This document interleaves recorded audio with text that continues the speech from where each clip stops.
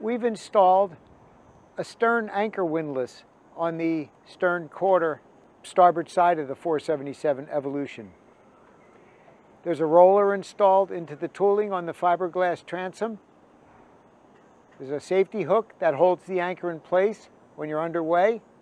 And there's a two-position switch panel under the gunnel in the starboard aft corner of the cockpit that allows you to operate this windlass.